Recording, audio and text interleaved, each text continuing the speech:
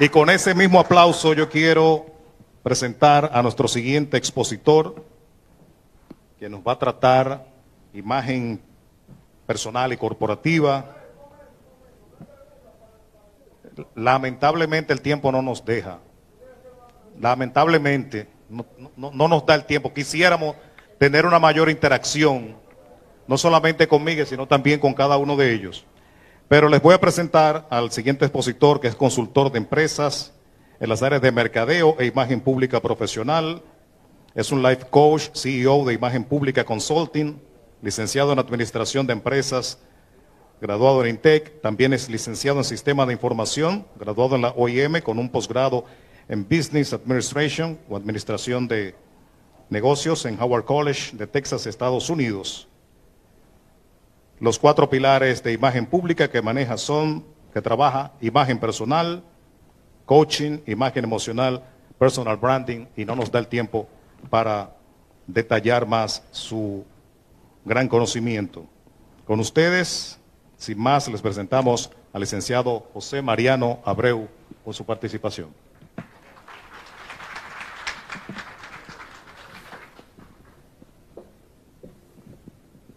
Buenos días. Ok, ok, ahora está bien. Buenos días. Me voy a bajar para estar más cerca. Voy a pedirle por favor que se paren. Vamos a orar. Vamos a entregarle esto al Señor. Cada vez que hago algo como esto, siempre se lo dedico a Él. Padre amado, Padre celestial, gracias. Gracias por permitirme estar aquí. Gracias por tu propósito. Gracias por haber creado un puente entre estas personas y yo. Bendice a Michael Miguel Holguín, quien fue ese puente para que llegara a ustedes. Bendice a los organizadores de esta actividad. Padre, que mis palabras sean tu propósito y que cuando estas personas se retiren de aquí, se lleven más de lo que trajeron. Que tú los bendigas, que tú los guíes, que tú cuides su familia, sus clientes, sus hermanos, que tú cuides todo lo que hay a su alrededor. Padre, que ángeles acampen a nuestro alrededor para que todo lo bueno, todo lo benevolente sea hoy realidad. Gracias. Soy Mariano Abreu, soy consultor de imagen, soy coach de negocio. Me pidieron que hablara con ustedes durante unos minutos de un tema que me apasiona, un tema que durante más de dos décadas he trabajado. Trabajo con políticos, trabajo con militares, policías, empresarios y a mí regularmente llegan cinco tipos de personas. La primera de ellas es la que no sabe lo que quiere. Llega a mi oficina y me dice, coach, estoy perdido, no tengo planes, no sé dónde me encuentro, no sé hacia dónde me dirijo. La segunda es la que saben lo que quieren, pero no saben cómo lograrlo. Tienen metas, tienen objetivos, lo han soñado, lo han visualizado, pero no saben cómo hacerlo. La tercera es aquella que sabe lo que quiere, sabe cómo lograrlo, pero no emprende acción. Tengo un gran deseo, tengo planes, yo sé hacerlo, pero mañana lo hago. Y mañana llega y pasado lo hago. Viven poniendo el mañana cada día, procrastinando. El cuarto tipo de persona que llega a mí es aquella que sabe lo que quieren, sabe cómo lograrlo, emprenden acción, pero no obtienen los resultados. De hecho, al final hasta se cansan. Creen que el objetivo es errado, creen que el objetivo es equivocado. Trabajan mucho, muchas horas, y al final de mes no alcanzan sus metas. Al cansarse, entonces empiezan a cuestionarse, empiezan a cuestionar lo que estudiaron, empiezan a cuestionar su profesión, empiezan a cuestionar el país y hasta se atreven a cuestionar a Dios. El quinto es el que sabe lo que quiere, sabe cómo lograrlo, emprende acción, obtiene los resultados, pero quiere más. Yo le pido a Dios Todopoderoso que ustedes se encuentren en el quinto. Pero si por alguna razón no están en el quinto, también le voy a hablar a aquel que no está. Y le voy a decir cómo una marca personal, cómo una imagen profesional es su mejor venta. Cómo usted, manteniendo lo que nosotros llamamos su personal branding, es lo que lo hará usted visible, notable, diferente. Así que le voy a empezar con esta frase de J. N. Keyner, Premio Nobel de Economía. En su momento dijo, la mayor dificultad del mundo no es lograr que la gente acepte las nuevas ideas, sino conseguir que olviden las antiguas. Muchos de ustedes le han vendido conceptos cerrados. Muchos de nosotros nos criamos con educación que no era la mejor, pero era la que podían nuestros padres. Yo vengo de un pueblito, se llama Duvergé. Allá cuando jugamos béisbol, el centerfield tiene que tener visa haitiana, porque si dan honrón cae en Haití. Imagínense dónde vivo. De allá vengo. Y una gente un día me dijo, vas a llegar lejos porque tú no te detienes. Y sí, llegué lejos. Llegué a vivir en Punta Cana, en Cocotal, en un campo de golf. Y allá me decían, wow, pero tú has llegado lejos, Mariano, y tú no te imaginas. De punta a punta, ¿verdad?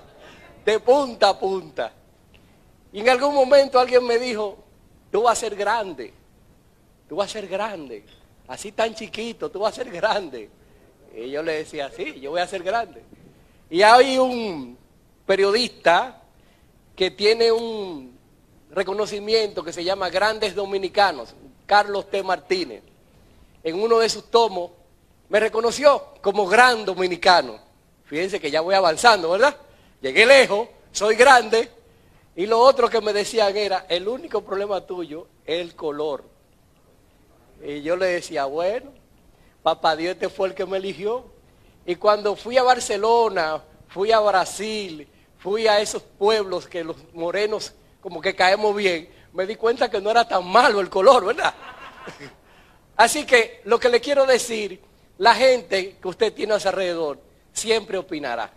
No siempre para bien, no siempre para mal. Yo le digo a las personas, escúchelo. Escúchelo no quiere decir que asuma lo que ellos dicen porque hay muchas de las cosas que te dicen que en lugar de frenarte te impulsan. Dice mi amigo el teniente general Soto Jiménez que el dominicano cuando dice y es más, quítese del medio. Cuando el dominicano dice y es más, es por ahí que va. Y es más, voy a terminar mi carrera, y es más, voy a conseguir esta muchacha, y es más, voy a conseguir este empleo, y es más. Cuando el dominicano dice y es más, quítese del medio, que por ahí que va. Hay un, comunicador, Michael, ¿cómo se llama? Que dice, quítese del medio. ¿Eh? Miren, la marca personal tiene muchos elementos que usted tiene que cuidar. Muchos elementos que a veces descuidamos, que pensamos que no son importantes. El edificio donde usted vive, su casa, su apartamento, la sala, la cocina, el baño, Usted me invita a su casa y de pronto yo quiero pasar al baño y veo dos panties colgados. Esa es parte de su imagen.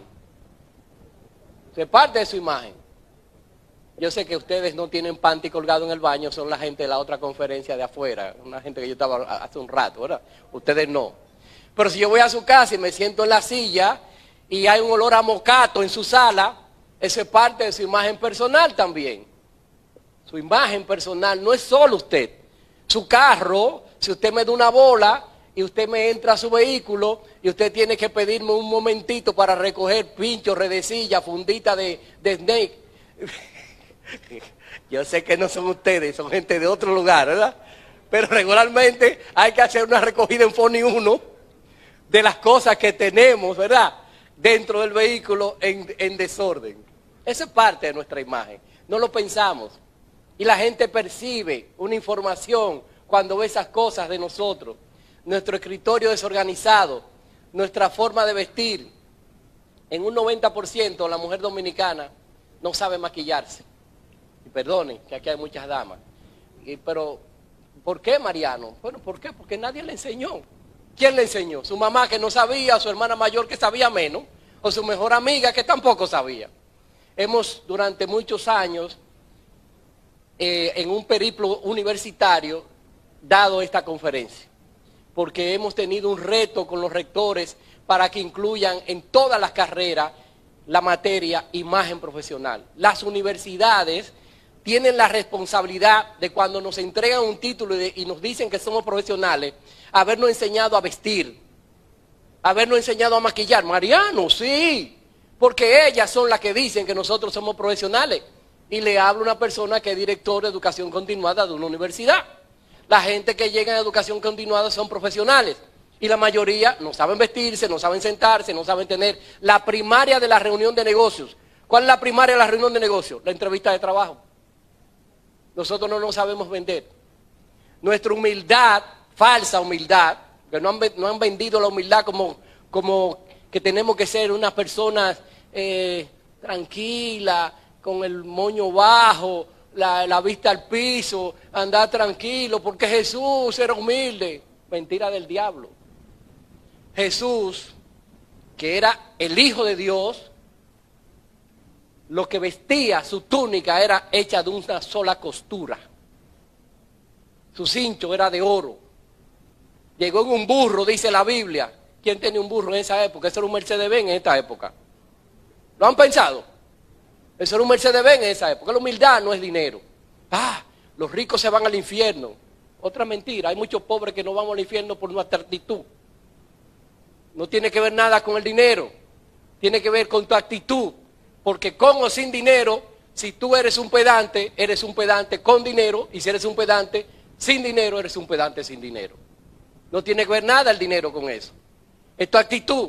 Y es tu actitud lo que no te deja crecer. Es tu actitud lo que no te deja ser amigos. Y es tu actitud lo que no te consigue socio. Y es tu actitud lo que no te consigue pareja. Y es tu actitud lo que no te consigue cliente. Por tanto, todo eso que vemos ahí, que son parte importante de nuestra imagen, nuestra tarjeta, nuestro correo electrónico, nuestro vehículo, nuestro spot, nuestra página web, los empleados nuestros, los empleados nuestros, ah, yo ando vestido bien, pero mi, mi secretaria anda como una loca. Y mi esposa viste bien y se maquilla bien, pero mi asistente no sabe peinarse. Esa es parte de mi imagen. Porque en muchas ocasiones, antes de verme a mí, hablarán y estarán con ella. A veces ni me verán a mí. Y ella es la primera cadena que va a tener la empresa en el contacto primario con un cliente. Y a ella tenemos que entrenarla. La mayoría de las empresas no entrenamos a la recepcionista, no entrenamos a la secretaria.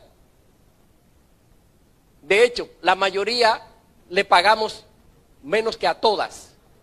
La recepcionista las secretarias son las que menos dinero ganan en las empresas. Y son el contacto primario con nuestros clientes. Entonces, eso es parte de lo que la gente ve de ti. ¿Qué ve la gente de ti cuando por primera vez hace contacto contigo? Muchos de ustedes es probable que hoy sea la primera vez que me vean, o que me conozcan, o que estén conmigo.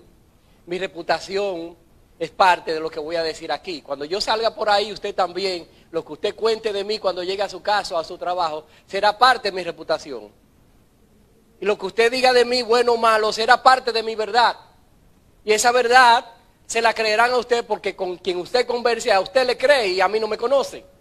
Entonces, mi responsabilidad en estos momentos que vamos a estar aquí es que usted se lleve una buena impresión mía, una buena imagen profesional.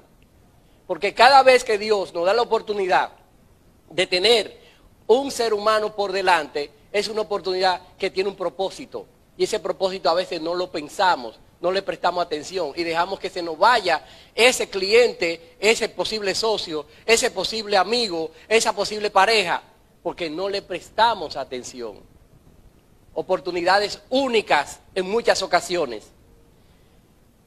Lo que quiero que usted sepa es que cuando hablamos de primera impresión, según los estudios, el 55% de la primera impresión tiene que ver con su imagen física, su apariencia personal, cómo se peina, cómo se viste, cómo se maquilla, cómo se asea. Eso es el 55%. Hay gente que se levanta la cama y coge para la calle sin pasar por el baño. Y hay personas que no planifican su día posterior. Usted tiene una buena reunión mañana. Esa buena reunión, que va a ser una reunión importante de negocios, usted tiene que planificar cómo va a ir vestido, cuál es el color que debe llevar. Las reuniones de negocios tienen colores. Una reunión de negocios, una reunión de trabajo, usted debe evitar el rojo, porque el rojo es agresividad. Despierta algo que se llama cerebro rectílico. Y cuando el cerebro rectílico se despierta, no hay negocio, no hay cierre. Tiene que ir con colores blancos, colores azul claro. Todo eso se entrena para que usted sepa por qué no cerró, si tenía buen precio, si tenía buena calidad mi producto, si mi empresa tiene buena reputación. No cerró porque a la reunión usted fue inadecuadamente. ¿Por qué otras personas cierran y usted no? Personas que cierran incluso con mayor precio que usted. No se trata del precio. En marketing decimos que el 70% del cierre de venta tiene que ver con trato humano. 15% precio, 15% calidad. 70% trato humano. Depende de usted, de su calidad de persona. El otro 38% tiene que ver con comunicación no verbal. ¿Cómo me siento?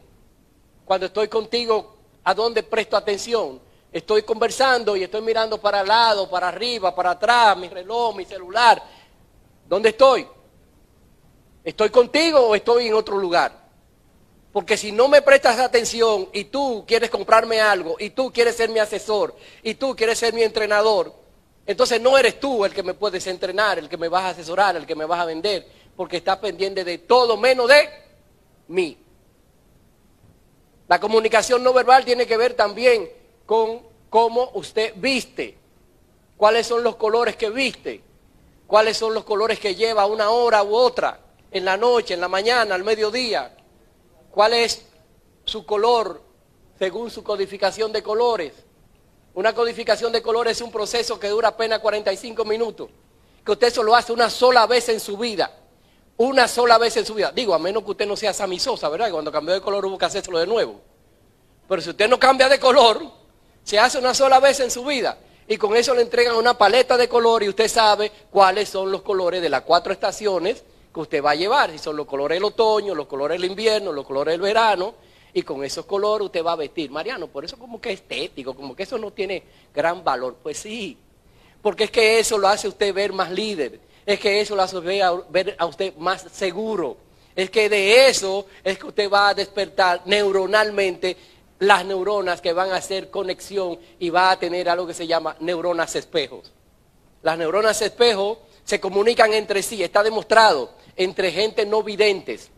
Personas no videntes que lo ponen en esta habitación, entra una persona no vidente con una emoción, sea disgusto, sea alegría, y esa persona al sentir que entró otra, capta, cambian, sus músculos faciales cambian, el mismo la misma emoción que el otro está trayendo. Y no lo vio, o sea, no es un asunto que lo vi y cambié porque lo vi alegre.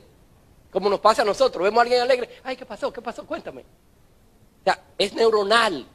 Y si usted no entiende que esa conexión neuronal, usted tiene que planificarla, o sea, usted no puede ir preocupado a, una, a, a un cierre de negocio, porque esas neuronas van a comunicar preocupación. Y para un cierre de negocio usted no puede transmitir eso. ¿Me están siguiendo? Bien, entonces, el 7% de lo que se llama primera buena impresión es comunicación verbal. Fíjense, cuando yo le digo eso a vendedores que entrenamos, se le cae la cara porque me dicen primero, ah, si me dejan hablar me lo como, ahí es que yo soy grande. Fíjense que solo el 7%, que no me oiga Michael Miguel, Solo el 7%, el 7% la imagen personal, de la marca personal, de la primera impresión, es comunicación verbal. Eso quiere decir que en un 93% antes de yo decir una palabra, usted me va a escanear emocional y físicamente. Y si estoy vestido como un loco, ser un loco. Y si camino como un loco, ser un loco. Y si me siento como un loco, ser un loco. Y usted no quiere estar con loco. Levante la mano, ¿cuánto quiere estar con loco, con loca? No veo mano levantada. se la devolvió. Porque nosotros queremos gente que se parezca a uno, que aspire uno a ser, no personas que estén más bajitos. Uno quiere crecer. Eso no quiere decir que porque está más bajito no lo voy a tratar, porque también hay que tener personas que están en otro nivel de la cadena de liderazgo, ¿verdad? Entonces, aquí, yo quiero una agüita, por favor. Aquí le voy a hacer una pequeña reflexión. El ser humano que en su avance profesional crece y va dejando atrás personas, en ese avance profesional tiende a maltratar las personas que quedan atrás. Y se lo digo porque ya le comenté que yo entreno militares y entreno políticos y entreno empresarios. Muchos de ellos, cuando van subiendo, las personas que iban subiendo con él y se quedan atrás de rango, lo que fuese, empiezan a maltratarlo. Gracias. Usted muy amable.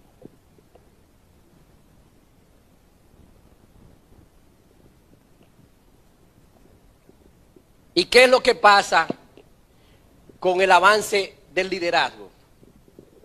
Bueno, que el líder en ocasiones se cae y es normal. El líder se deprime y es normal. Ah, Mariano, ¿y usted se deprime? Yo soy un ser humano. Pero usted es Mariano Abreu, yo soy un ser humano. Y cuando me deprimo me arropo, me quedo en pantaloncillo el día entero en la casa y pongo Netflix. Y salgo al día siguiente sin depresión Cualquier cosa usted le puede deprimir, cualquier cosa usted puede sentir que hoy no va para la calle y usted cualquier día puede sentirse mal. Es de ser humano. Lo que es de líder es levantarse de eso, es salir con el pecho al aire y enfrentar de nuevo los retos. Eso es de líder, eso no lo hace cualquiera. Los cualquiera se quedan en la depresión, se quedan en el piso, se encierran y no salen más. Los líderes se levantan como el ave fénix.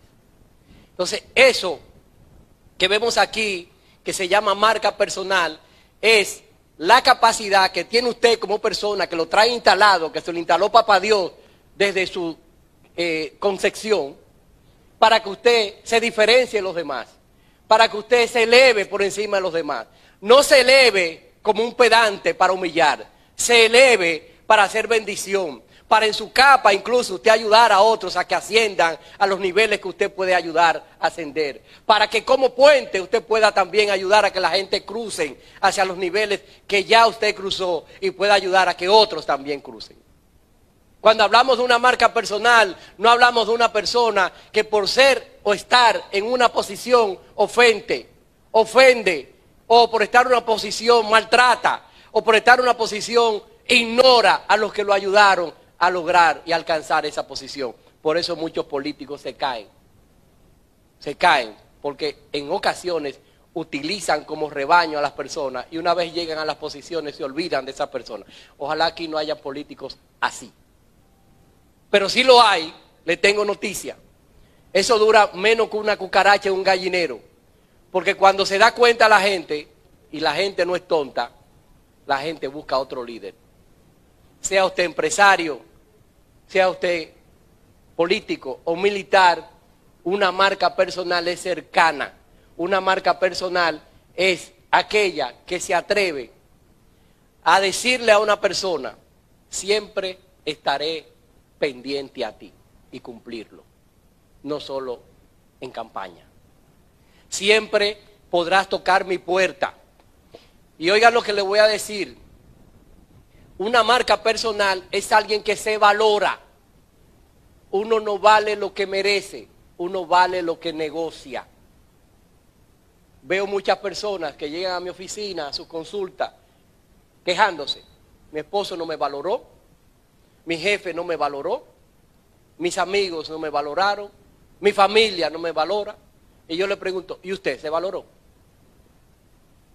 Es usted el que tiene que darse valor cómo estás negociando tu marca personal, cómo estás haciendo tu entrega. Aunque lo hagas gratis, lo que hagas gratis, tiene que hacerle ver a esa persona que eso tiene un costo, que eso tiene un costo porque es tu tiempo, es tu, intelecto, son tus emociones que estás poniendo, cómo estás negociando tu valor, cómo estás negociando esa cercanía, ese apoyo. Uno no vale lo que merece, uno vale lo que negocia. Apréndanse eso. porque eso es parte del avance de una marca personal. Usted no me puede poner mi precio, yo sé cuánto valgo y no hay un precio que usted lo pueda pagar. prefiero entregárselo regalado cuando usted no lo puede pagar. Pero yo quiero que usted sepa lo que le estoy regalando. Yo quiero que usted sepa cuánto le estoy dando. Una de las cosas que tenemos en las marcas personales es que no nos atrevemos a encontrar nuestras imperfecciones. Es que no nos atrevemos a pararnos frente a un espejo y a decirle a esa persona que vemos al espejo, hasta hoy me estás frenando. Tu actitud me ha detenido. Tu vagancia me ha detenido. Tu incoherencia me ha detenido. Hasta hoy. Y hoy voy a empezar a cambiar porque necesito estar más bonita, necesito maquillarme mejor, necesito vestirme mejor, necesito terminar mi carrera, necesito, necesito. Y emprendo acción. Lo más difícil, lo más difícil que puede hacer una persona es trabajarse a sí mismo. A nosotros nos encanta buscarle imperfecciones a los demás. Y hay algo que se llama virar el espejo. Y yo le digo a ese señor, Mire, esa, ese polo no le queda bien. El blanco es un blanco hueso, usted le quedaría mejor el blanco más claro. Y él me dice, sí, pero esa corbata roja a usted tampoco le queda bien. Mirar el espejo. Así somos. Si alguien no quiere dar una retroalimentación, lo que hago es que le viro el espejo. Y le digo, no, pero usted también. Usted no se da cuenta que usted también mete el ojo. Yo le digo, no es que acepte lo que le dicen, pero escúchelo valórelo, sedáselo, consúltelo con su conciencia. Y si tiene sentido, si se lo han dicho más de una vez, empiece a corregirlo. Porque el regalo más precioso que le puede hacer una persona es esa consultoría gratuita que se llama consejo. Atiende al consejo y terminará siendo sabio. Proverbios. Eso quiere decir que para hacer una marca personal tienes que prometer que cuando la gente te vea diga, esa persona, yo estuve con él y es una persona así, así, y se atrevan a referirte, se atrevan a llegar a ti por referencia. Nosotros tenemos varios programas de televisión, uno en la noche se llama Enfrentados, en el Nuevo Diario, en varios canales de televisión, en Claro, en el 66 y en el 60, de 10 a 12 de la noche todos los días. Los sábados, imagen pública televisión, 13 años en el aire. Muchas de las personas que llegan a nosotros, y he sido consultor del show del mediodía de su imagen durante muchos años, y estoy en Radio Realidad con Iván Ruiz también, pero la gente en su mayoría no llega a mí porque me ve en televisión. En un 80% llega a mí por referencia, porque alguien fue donde mí, se trabajó conmigo y esa persona le dijo, mira, eh, ¿qué tú estás haciendo? Que te veo diferente. ¿Qué estás haciendo? Que te veo más, más enfocado. ¿Qué estás haciendo? Que te veo más bonita. Tú estás enamorada. entonces empiezan a contar su historia. ¿Qué pasó desde que llegaron a imagen pública? Con cambios estéticos, con cambios de pensamiento, con lectura. Un cliente mío tiene que leerse un libro cada 10 días. Cada 10 días. Un cliente mío tiene que entrenarse tres horas semanales y una hora de coaching. Y cuando usted tiene 10 meses en eso, evidentemente usted tiene que ser otra persona. La mayoría de nosotros los dominicanos no leemos. El último libro que leímos fue Matemática Coquito o Álgebra de Baldón. No nos gusta leer. Compramos los libros, andamos con los libros abajo el brazo. Ah, estoy leyendo este libro. El brazo, el sobaco lo está leyendo. Hay un amigo que se llama Diego Sosa compañero y amigo y hermano coach. Y Diego me contó una vez que estaba frente a una persona en, una actividad y esa persona andaba con uno de sus libros. Y que esa persona empezó a hablar maravilla de ese libro. Y Diego, ¿me permite verlo? Y lo abrió y lo su libro. Y oye, pero yo no sé qué libro tú leíste, pero ese que está ahí, ahí no dice nada de lo que tú estás diciendo. Y yo fui que lo escribí. Porque hay personas que andan con libros y hablan de un libro sin haberlo leído hablan del libro por tres o cuatro páginas que leyeron.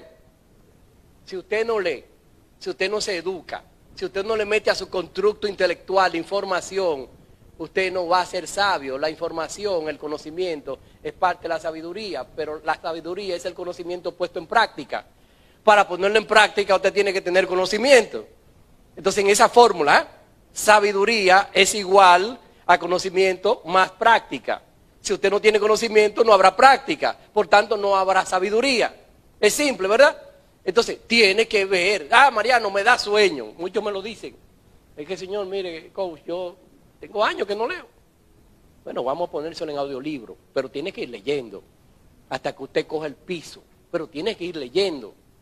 Y se lo vamos poniendo en audiolibro, y luego el libro, y luego el audiolibro, y luego el libro, y ya prendió. Pues nosotros somos como un carro viejo. Hay que empujarnos para aprender.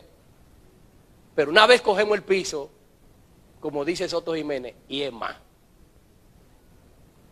Hay que darle para allá, hay que detenerlo. No, espere, espere, espere. No, no, no lea tanto, espérese. Lea nada más lo que yo le pongo. Es el ser humano. Es el dominicano que yo conozco. Esa promesa, que se llama marca personal, tiene que definir si es una marca personal o es una marca blanca. ¿Saben lo que es una marca blanca? En la mayoría de supermercados, ya los supermercados tienen marcas, ¿cierto? De comestibles, de detergentes. Y debo decirle que son muy buenos. De hecho, hasta lo hacen la misma fábrica que hacen las marcas importantes. Pero ¿cuánto cuesta? ¿Más o menos? Menos. Wow, cuesta menos. Todo el mundo lo sabe, ¿verdad? No hay duda de eso, cuesta menos. Entonces usted se tiene que preguntar si en este mercado competitivo usted quiere valer menos o quiere valer más. Cuando esto es una marca blanca, una persona que nadie conoce, que lo que imita a otro, que lo que quiere ser como Michael Miguel, que lo que quiere ser como Mariano Abreu y deja de ser Luis Santana y deja de ser María Díaz, o sea, usted, cuando usted lo que quiere ser como otro, usted es una marca blanca. Los atributos que usted tiene, que se lo dio Dios, lo que tiene que mejorarlo, tiene que refinarlo. Si su conducta es agresiva, si usted es un mecha corto, un mecha corto es aquella persona que de que alguien lo, lo provoca quiere pelear, que ofende, que tira pata voladora como ya veneno y la manigueta. Un mecha corta es aquel que le dice, perdone lo que voy a decir, doma la palabra cualquiera y esa persona cuando se da cuenta era su jefe. Un mecha corta es aquel que le da una galleta a una mujer y cae preso. Un mecha corta no tiene control emocional. Un mecha corta puede dar al traste toda su carrera, todos sus años de estudios. Cuando entreno los cadetes, el último día lo llevo a asuntos internos. Y le digo, ¿usted sabe quién viene aquí? Aquí viene el que tiene problemas. Y desde esta puerta a la calle solo hay una emoción. Usted va a salir hoy siendo oficial, con una pistola, con un uniforme nuevo, con un rango, con un estatus social. Y si usted allá afuera se deja provocar, esos cuatro años que usted duró aquí cogiendo piña, lo tirará por la borda por alguien que lo provoque y usted jala la pistola. Porque hoy todos somos periodistas, porque todos tenemos una cámara y cualquiera te graba en una acción de esa, la manda a cualquier programa, ya usted está cancelado. Cuatro años de su vida. Cuatro años. ¿Cuántas veces nos dejamos provocar y tiramos al traste clientes importantes, proveedores importantes, relaciones importantes? ¿Cuántas veces nos dejamos provocar? ¿Cuántas veces yo he reconocido o no el tipo de mejora que necesito?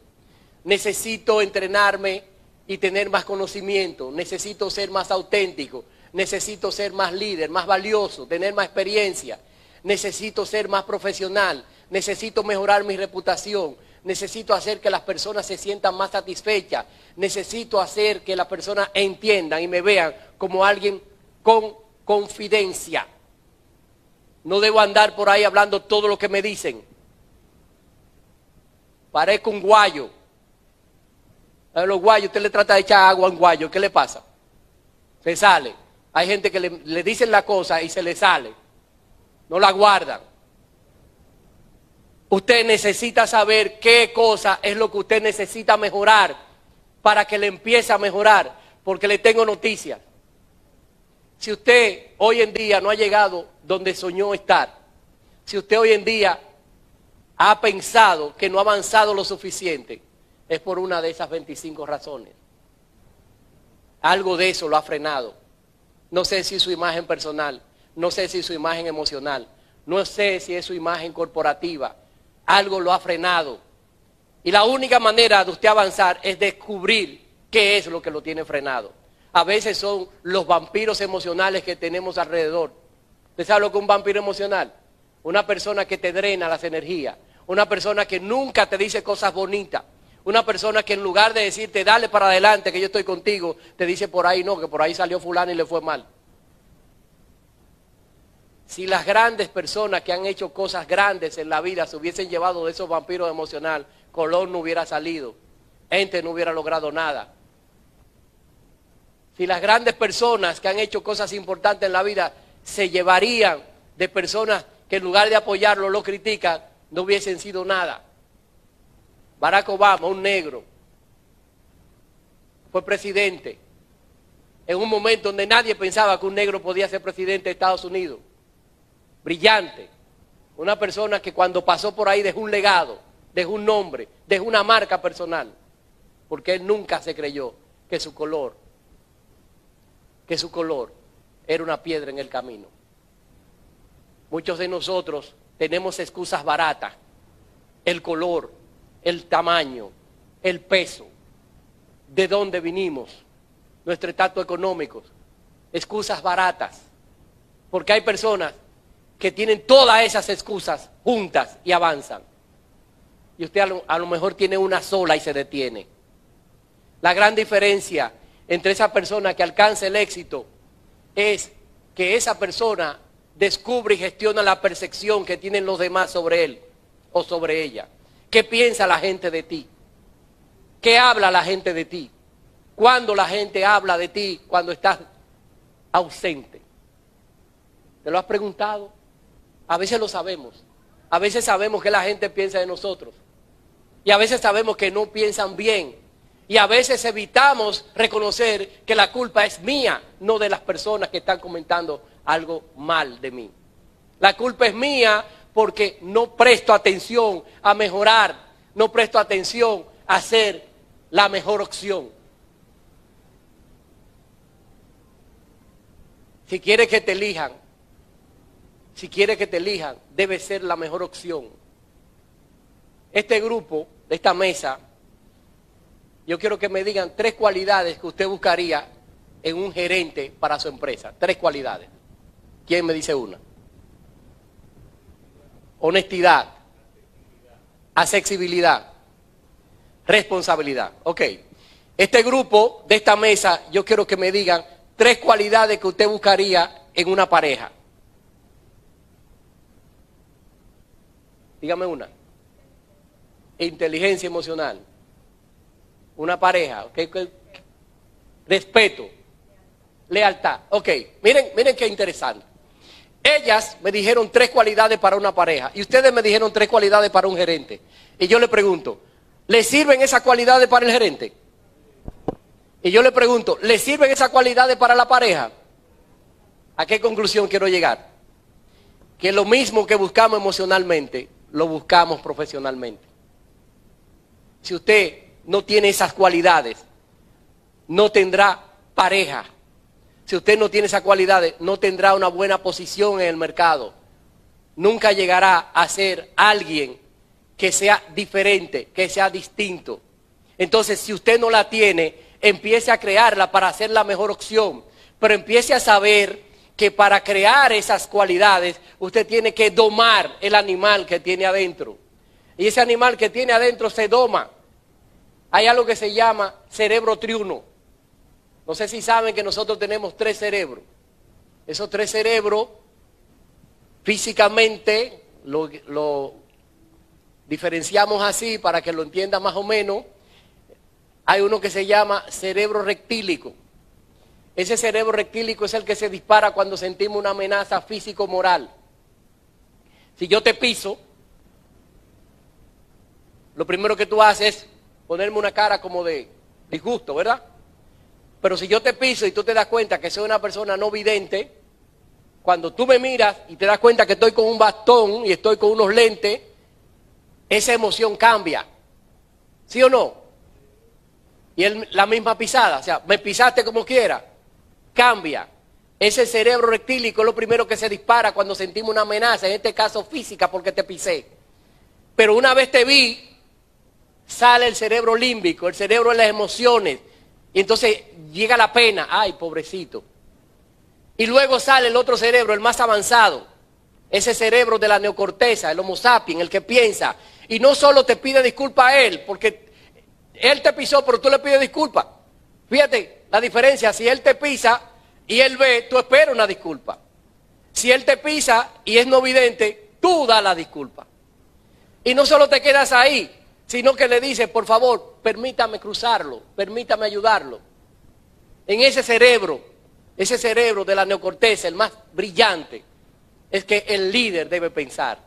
Un líder que piensa aquí, en el rectílico, que piensa en agresividad, que se detona fácil, que se deprime fácil, que se levanta todos los días como si se desayunara con un panal de avispa. Ese líder no llega lejos. Ese líder que solo piensa en el límbico, que le da pena a todo. Dicen por ahí que la pena hermano de jódete. ¿Verdad que sí? Perdone la palabra. Usted tiene que tener pena en ocasiones, pero usted no puede vivir pegado a una pena, es una emoción. Y esa emoción tiene que usted rentabilizarla. Una pena, usted se queda en la pena y fácilmente muda el barrio a su casa. Ay, Mariano, no sea así, que tú eres un hombre cristiano. Usted no puede tener tanta pena que usted ponga en peligro su vida. Usted no puede tener tanta pena que usted ponga en peligro sus sueños. Porque si usted no crece, si usted no avanza, usted no va a poner, volver luego a ayudar a esas personas. Avance, que cuando usted avance tendrá capacidad incluso de volver por la pena y ayudar al que usted le tenía pena atrás. Pero si usted no avanza, si usted se queda en la pena, al que habrá que ayudar, ¿a quién va a ser? A usted. Entonces, en ese cerebro, esas emociones que usted debe controlar, esas emociones son peligrosas, porque en ese cerebro, en ese cerebro rectílico, es que usted ofende, es que usted maltrata, es que usted dice malas palabras, es que usted se para rabioso y le da una galleta a un guachimán, el guachimán le da un tiro, en ese cerebro rectílico es que usted no acepta que le ponga la multa el AMEL de, de la DGC y se va a la trompa con él. En ese cerebro es que pasan los grandes fracasos, como el fracaso que pasó hace unos años, donde un vecino mató a otro por un parqueo. Es en ese cerebro, dura segundos emocionales. Se llama secuestro de la amígdala. Ese secuestro de la amígdala, la amígdala es esto que tenemos debajo del hipotálamo, esto es una glándula que te alerta del peligro. Cuando es secuestrada por ese cerebro rectílico, se produce eso que se llama secuestro de la amígdala. Y pasan cuatro procesos. El primero es que pilotea el cerebro rectílico. A partir de ahí, el cerebro rectílico, para que sepa, no tiene pasado ni futuro. O sea, el cerebro rectílico no reconoce que esa persona al cual usted está a punto de darle una galleta es la mamá de sus hijos, que tiene 20 años con usted, que lo cuida, que lo ha mimado, que en las ocasiones cuando usted ha estado en el piso, ella siempre ha dado la cara por usted, o esa persona es su jefe, o esa persona es su mamá, porque el cerebro rectílico cuando se activa no tiene pasado, no hay pasado, pero tampoco hay futuro, por eso no mide consecuencias. Y en ese cerebro rectílico, en ese proceso, tu memoria entra en cortocircuito, porque no, no piensa, es impulsivo, es emoción. Y lo otro que pasa es que te llena de adrenalina y te llena de estrés y explotas. O maldiciendo, o golpeando, o usando un arma. Y la diferencia entre su estado actual y su fracaso son esos segundos.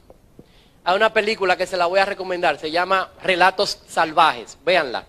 Relatos Salvajes, una película argentina que trata cinco casos de de situaciones emocionales, cómo las personas pierden la libertad, cómo la persona pierde la pareja, cómo la persona pierde el trabajo por esos segundos emocionales administrados por el cerebro rectílico.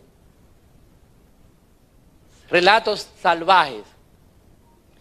Entonces, ¿qué necesito hacer, Mariano, para yo empoderarme y cambiar? ¿Qué necesito hacer para todo eso que usted me dice, que me hace sentido? ¿Cuánto me quedan, amigo? ¿Cinco minutos?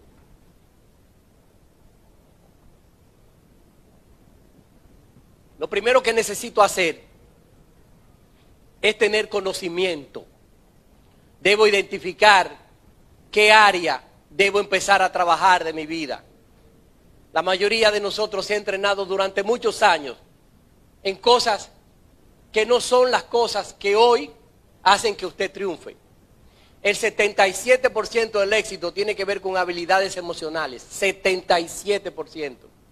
Solo el 23% del éxito tiene que ver con CI, coeficiente intelectual. Por eso usted ve que hay personas brillantes que no triunfan.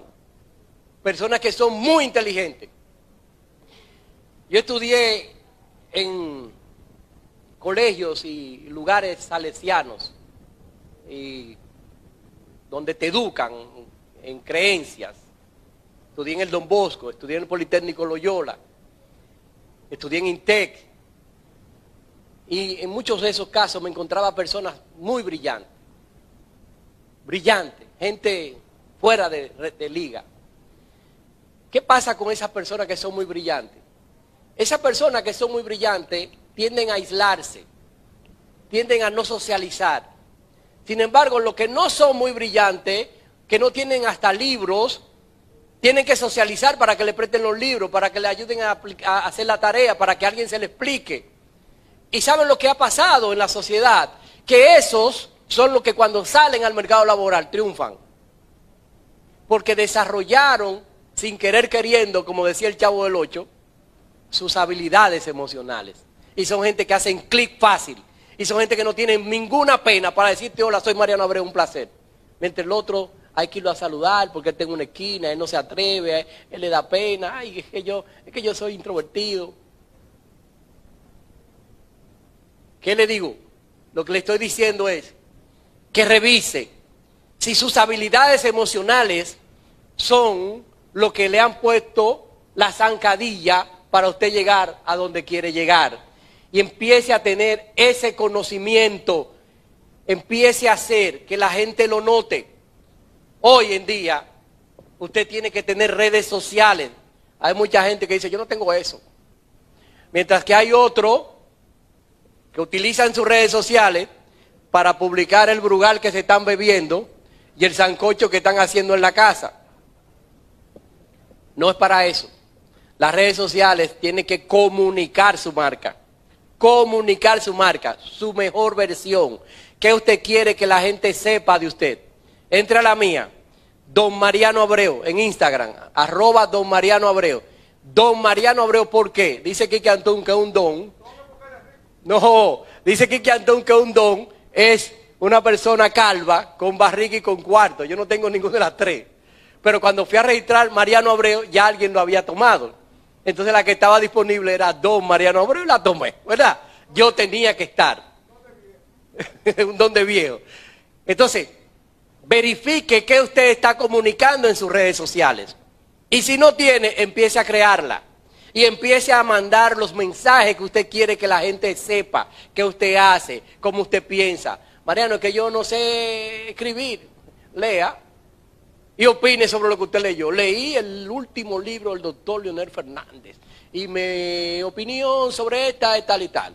Leí el último libro del doctor José Francisco Peña Gómez en paz descanse y mi opinión sobre esa es tal y tal. Opine, usted no tiene que escribir, usted no tiene que ser un gran escritor, Usted no tiene que ser un literato. Deje conocer sus ideas. Deje que la gente le encante.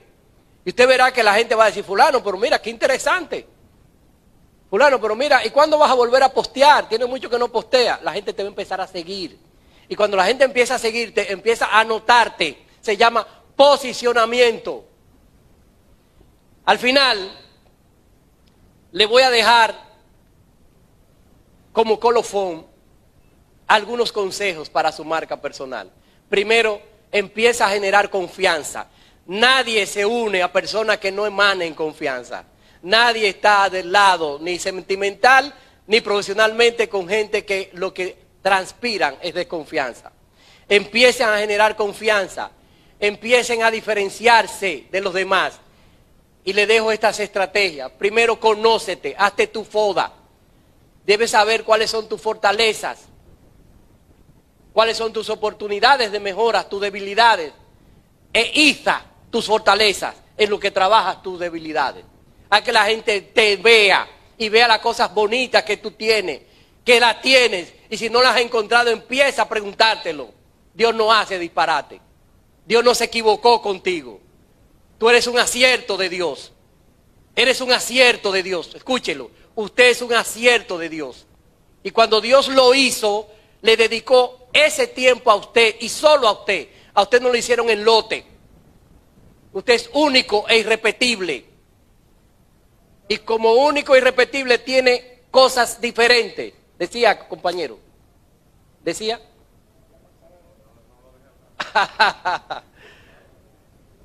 Lo otro, conoce tus superpoderes. Todos los tenemos, todos tenemos uno. Yo no sé si el tuyo es que hablas. Habla y la gente te escucha y habla bonito y la gente te... ¿eh? Yo no sé cuál es el tuyo, que sonríes, que eres cercano, que eres una persona amable, afable, que eres una persona empática. Carisma, yo no sé cuál es el tuyo, pero tú tienes uno. Empieza a descubrir tus superpoderes y empieza a mostrar tus superpoderes. Lo otro, crea confianza. La confianza se crea, damas y caballeros, gestionándola, haciendo que la gente tenga contacto contigo y que cuando esa gente tenga contacto contigo y se vaya, tenga deseo de volverte a tener cerca. Ojalá así sea cuando yo me vaya. Eso quiere decir que usted además de esa confianza que debe generar, tiene que ser visible online y visible offline. Visible online, redes sociales. visible offline, reuniones como estas, entrenamientos, actividades sociales, lanzamientos. Cuando nos encerraron por la pandemia, yo aceleré mi proceso de jugar golf, porque ya no habían actividades sociales. No, eso es otra gran mentira que no han vendido. Nos lo vendieron los ricos para que nosotros no nos metiéramos a jugar. Oiga bien, y como los hoteles estaban cerrados y no habían actividades, aceleré mi proceso de mejorar mi práctica de golf, porque los campos de golf seguían abiertos y ahí estaban mis posibles clientes. Y aceleré mi práctica y me involucré a jugar golf. Hace apenas año y medio, el primero de agosto pasado, hice mi primer torneo de golf en Metro. 96 jugadores, 150 personas, y yo no soy un gran golfista. Se llama relaciones.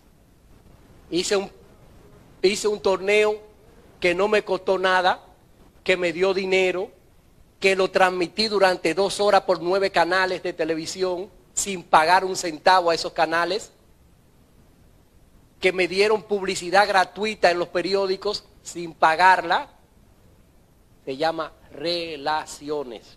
Usted la tiene, cultívela, cultive las relaciones. Esas relaciones es lo que hace que usted sea diferente. Esas relaciones que hace que la gente lo llame a usted por su caché. Su caché, y no hablo de su forma de vestir solamente, su don de gente, su don de gente cómo usted habla con las personas, cómo usted escucha a las personas, cómo usted se hace cercano a las personas. Y le dejo esta frase final. A la cima no se llega superando a los demás, sino superándonos a nosotros mismos. Deja de competir con los demás y empieza a competir contigo. Proverbio 19:20. Atiende el consejo y acepta la corrección. Así acabarás siendo sabio. Deja de luchar contra la gente que te dice cosas que tú tienes que mejorar. Empieza a escucharla y mejórala. Empieza a ser mejor persona. Muchas gracias. Soy Mariano Abreu y Vol que forma más. Un placer. Encantado.